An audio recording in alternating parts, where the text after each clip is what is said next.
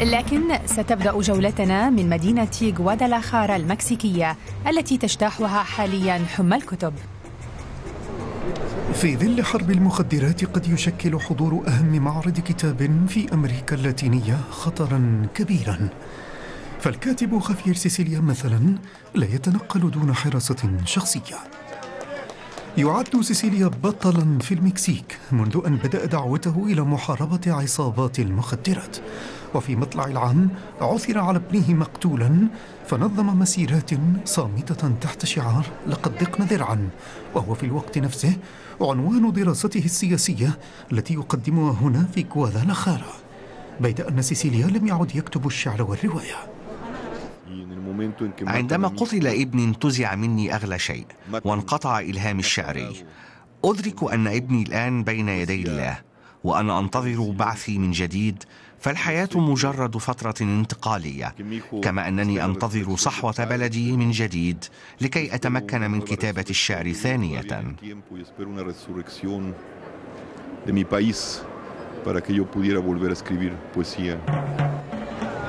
العنف اليومي موضوع لم يفقد بريقه في معرض الكتاب في المكسيك.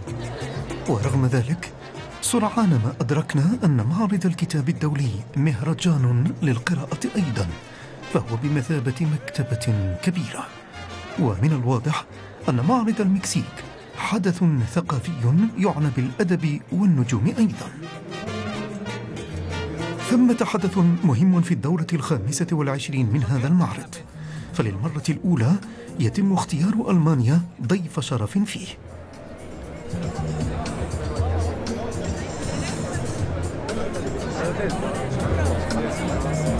وقام 25 كاتبا بالتعريف بالثقافة الألمانية ومن بينهم الحائزة على جائزة نوبل للآداب هيرتا ميلا التي تؤدي هذا الدور على مضض. وحضرت منذ اليوم الأول إلى المعرض مونيكا ماغون التي التقت في الجناح الألماني بدار النشر المكسيكية التي تتعامل معها. إدارة معرض الكتاب. تتمنى أن يزداد عدد اللقاءات من هذا القبيل. من الضروري أن يتم التواصل بشكل مباشر كما أنه من الضروري أن تأتي ألمانيا وكتابها إلى أمريكا اللاتينية وأن يترجموا أعمالهم والعكس صحيح أيضا أي أن يتوجه كتابنا إلى ألمانيا وأوروبا ويترجموا مؤلفاتهم ما يحسن العلاقات مع بلدنا. هيرتا مولا تعتبر نفسها كاتبة أكثر من كونها سفيرة للثقافة. ومنذ سنوات أصبح بإمكان عشاق القراءة في أمريكا اللاتينية شراء مؤلفاتها باللغة الإسبانية. زوار معرض الكتاب احتفى بهيرتا مولر فمؤلفاتها عن الدكتاتور تشاوتشيسكو وملاحقة جهاز الاستخبارات لاقت شعبية كبيرة في المكسيك وقد حضر 1500 شخص ليتعرفوا إلى كاتبين فازوا بجائزة نوبل للآداب وهما هيرتا مولر وماريو فارغاس ليوسا. قرأت رواية ماركيس مئة عام من العزلة فظننت أن الأحداث تدور في قرية نيتسكيدورف في رومانيا حيث نشأت. أظن أن هذا مثال على نجاح الأدب. كما يستوقفني الكاتب النمساوي توماس بيرنهارد الذي وصف الفاشية اليومية في النمسا وهو ما يشبه أيضا ما كان يمارس ضد الأقلية الألمانية في رومانيا بالرغم من أن ماركيز لم يزر رومانيا قط ولم يكن في قريتي وكذلك الحال بالنسبة لتوماس بيرنهارد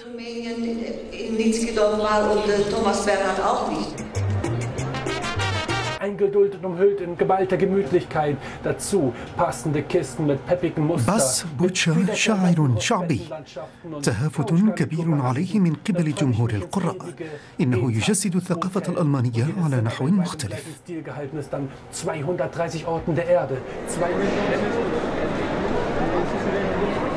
starteten die Schlitterpartie, zersplitterten die Eiszapfen, schnitten mit den Schlittenkufen Furchen in den Schnee. Der Bob schleuderte beim Slalom aus geschlängelten Bahnen. هذا جناح دار النشر هيردا مكسيكو وقد أخذ رئيس الدار منذ أعوام على عاتقه مهمة التعريف بالروائيين الألمان في المكسيك ومن بينهم الكاتبة مونيكا ماغون التي نشرت الدار لها كتابا واحدا بالإسبانية لكن ما مدى رواج الثقافة الألمانية في المكسيك؟ ليس هذا سهلا لكن الاهتمام الكبير بالثقافة والأدب الألمانيين لم ينقطع.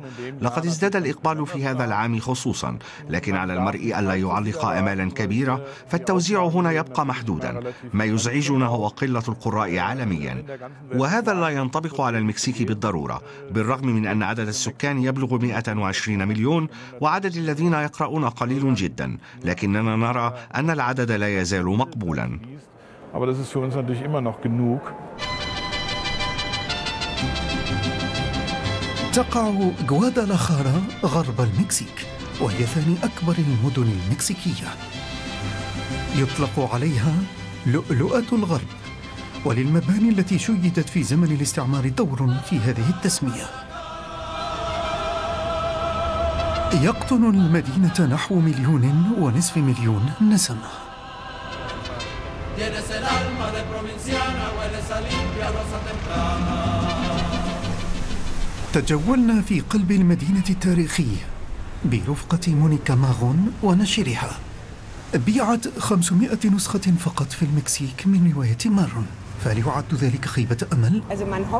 عندما تترجم رواية ما إلى لغة أخرى يتمنى الكاتب بالطبع أن تجد روايته من يقرأها وأن تجد كتاباته صدى. مع العلم أن القارئ سيرى قصة تشبه قصته في الكتاب. لكنني لا أعيش في الأوهام. فالطبعات محدودة هنا أصلاً. ففي حال جاءت النتائج إيجابية فسيكون ذلك جميلا. وإذا لم يحصل ذلك فلن أصاب بخيبة أمل في كل ساعة يقتل شخص في المكسيك. وهذا ما يثير اهتمام الكاتبة هنا. يصدم المرء بالطبع عندما يزور بلدا كالمكسيك فقبل أيام من مجيئي إلى هنا. عثر على 26 جثة في وسط المدينة فقد أراد الجناة بفعلتهم تلك بث الخوف لدى الآخرين. غوادالاخارا تعطي انطباعا بأنها منفتحة وتحتفي بضيوفها. غير أن حرب المخدرات ليست غريبة هنا. عدنا إلى قلب المدينة الحديث حيث عثر على جثث قطعت رؤوسها. علما أنه في السنوات الأخيرة قتل 45 ألف شخص في الحرب الدائرة بين عصابة المخدرات والشرطة. وفي هذه الحرب تصبح حياة الكتاب والصحفيين أكثر عرضة للخطر. علمنا أن عدد الضحايا في المكسيك هو الأعلى في العالم. كيف يعيش الكاتب في هذا المناخ من الخوف إذن؟ في فندق قريب من معرض الكتاب سألنا عن الروائية والكاتبة المكسيكية ومقدمة البرامج التلفزيونية صابينا بيغمان نشهد هنا حالة مأساة لكن يجب أن لا يثنينا ذلك عن موضوعنا الأساسي ويجعلنا نتطرق لمواضيع جانبية. لا تزال لدينا حرية التعرف على الأمور الجديدة لكنني أظن أن العنف الذي يشهده المرء هنا لامس مشاعر جميع الكتاب. los corazones de todos los escritores. المكسيك في حالة طوارئ. ورغم ذلك جاء الناس إلى معرض الكتاب الذي يزوره سنويا ما لا يقل عن مئة ألف زائر. اليوم يوجد إلى جانب الكتب ستة وعشرون مغنيا متخفين وسط الجمهور.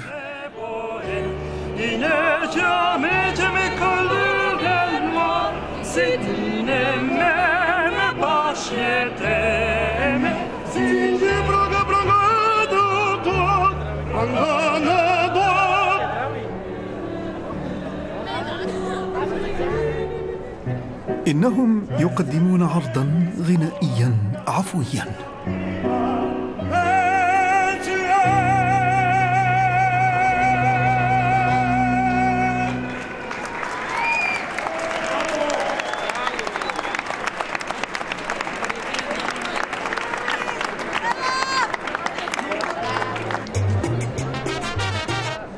وقد يكون هذا العرض من مظاهر فرحة الحياة عند المكسيكيين كخافير سيسيليا رغم خطورة الوضع.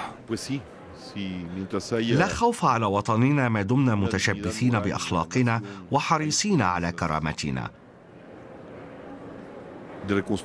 ما من شك أن الوضع معقد والأزمة عميقة. لكن الأمل والحفاظ على الأخلاق يساعدان على ضمان مستقبل مشرف.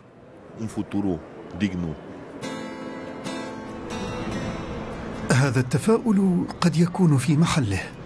فرغم منع حرية التعبير بالقوة أحيانا ورغم حرب عصابات المخدرات إلا أن معرض كتاب المكسيك أكد على دوره الريادي في أمريكا اللاتينية.